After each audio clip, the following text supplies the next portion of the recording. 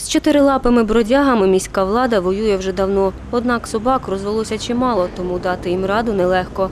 Раніше тварин просто труїли чи відстрілювали. Сьогодні це забороняє закон. Собакам зберігають життя, їх стерилізують та щеплюють. Адже стара система боротьби з безпритульними. Натомість стерилізація жорстока, але недостатньо ефективна.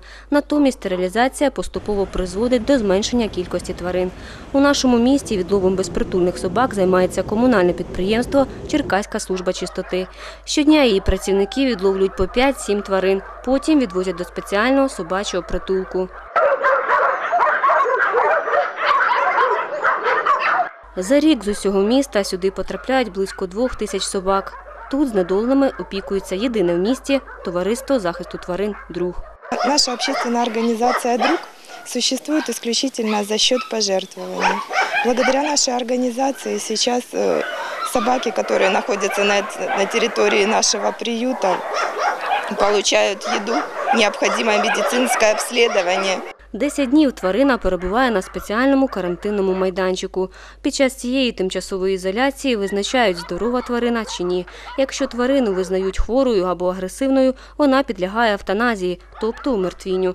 Інших щеплюють, стерилізують та запускають до вольєрів. Нині в притулку перебуває 267 собак. Тут їх годують та доглядають.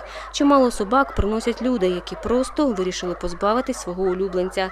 Пані Ольга не перестає дивувати жорстокості та байдужості людей до тварин. Даже когда становится вопрос, что скоро приют переполнится и будут с- собаки усыпляться, то это их не останавливает. Они готовы даже дать деньги на усыпление животного.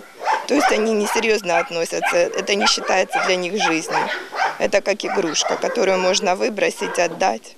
Та є серед людей і такі, котрим не байдужа доля чотирилапих друзів. Вони охоче забирають беззахисну тварину до себе.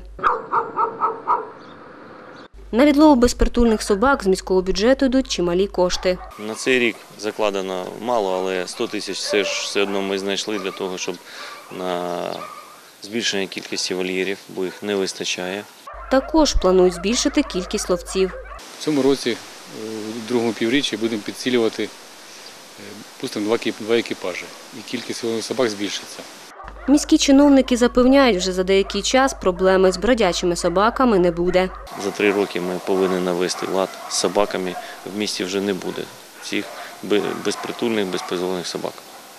Утім, вирішення питання безпритульних тварин залежить не лише від міської влади. Люди також можуть взяти на себе відповідальність за збільшення кількості тварин. Только от жизни, от жизни собачьей собака бывает кусачей. Юлія Доброскок, Василь Саєнко, Віка Новини.